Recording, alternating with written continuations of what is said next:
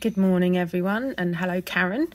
Um, I'm just going to take you through the points where you oil on a treadle, but also the bearings so that you know where to grease. Um, we'll start with the oiling first. So, um, this is my 66k treadle. Um, the oil points are just a drop of oil on this hinge here and also on this one here okay. Um, this is your pitman rod which is going all the way up to the main crank of the wheel. Um, you can just drop one or two. I mean it only needs one or two, two drops of oil but um, a drop of oil just in there that just helps to run that smoothly. When you come up here a drop of oil there and a drop of oil on this side um, it's just it's the moving parts you want to, to oil there's also, if I just slide around on this side, uh, a drop of oil just on there. The oil will just lubricate um, those moving in parts, but the oil will drip out, which is why I've got a little bit of carpet under mine to collect it all up. The bearings, however, because the bearings are so small, um, they do heat up because every time you move this, or every time you're, you're treadling essentially, um, those bearings are taking the brunt of the speed of the, the treadling. So if I come up close, and I'm really hoping that you'll see this. So your bearings, you can just about see one of those bearings there. Tiny little silver balls. Now you've got a run of those bearings all the way around this mechanism. That's where you need to put grease. Now the grease that I use Oh dear, I've put it down and now I can't find where I put it. Aha! I found it. This is what I use. Uh, Singer lubricant. It's for the motors if you've got any um, Singer motor. Um, so this is what you would normally put in your your motor, but it works the same for those, those bearings as well. I got this from that that selling site um, but I think you can probably get it on Amazon. Or if not, um, Dave will sell um, motor grease. That's all you need is a bit of motor grease. Um, I work um, in the bus industry, so I've got some engineering um, grease as well. Any sort of grease is fine.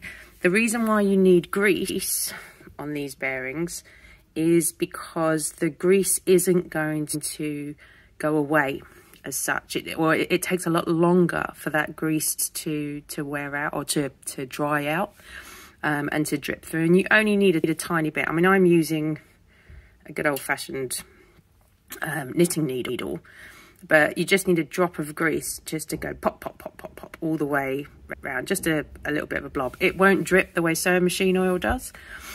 If you do put, put sewing machine oil in here, um, it will, the sewing machine oil essentially, although it will lubricate, it will also wash out the grease that's already in there. Um, if there isn't any grease, which will cause a, a, horrible grindy sort of noise anyway, but if you put sewing machine oil there in there, it will lubricate the bearings, but that oil will eventually drip out and then you'll just have muck just going all the way down your pitman rod. Um, you might find that your pitman rod will also get um, quite sticky because it's washing away the grease from, your bearings all the way down and then clunging up all of that area. Um, so grease is the best thing to put there. And I don't know if there's any on the end of my thing. No, the, um, yeah, there is a little bit. Just where I've poked it, there is, probably can't focus on that, but there's a tiny bit of muck on there. Because you've greased it, if you do grease it, that grease will stay there and it will just run lovely and smooth. These these are old, so I mean mine. If I'm just move my wheel slightly, there's there's a slight bit of movement on there, um, but it will if I just get it going.